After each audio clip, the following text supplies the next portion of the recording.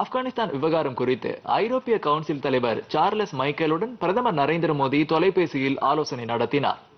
ஆப்கானிஸ்தானில் தற்போது ஏற்பட்டுள்ள நிகழ்வுகள் குறித்தும் பிராந்திய மற்றும் உலக நாடுகளின் மீது அவை ஏற்படுத்தியுள்ள தாக்கங்கள் குறித்தும் இரு தலைவர்களும் ஆலோசித்தனர்.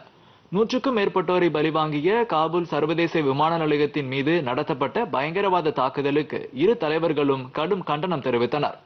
நிலையான மற்றும் பாதுகாப்பான ஆப்கானிஸ்தானின் முக்கியத்துவத்தை இருவரும் வலியுறுத்தினார்கள். இதற்காக இந்தியா மற்றும் ஐரோப்பிய ஒன்றியம் ஆற்றக்கூடிய பங்கு குறித்தும் அவர்கள் விவாதித்தனர். இருதரப்பு மற்றும் சர்வதேச விஷயங்கள் குறிப்பாக ஆப்கானிஸ்தான் விவகாரம் குறித்து தொடர்ந்து தொடர்பில் இருக்கவும் இரு தலைவர்களும் ஒப்புக்கொண்டனர்.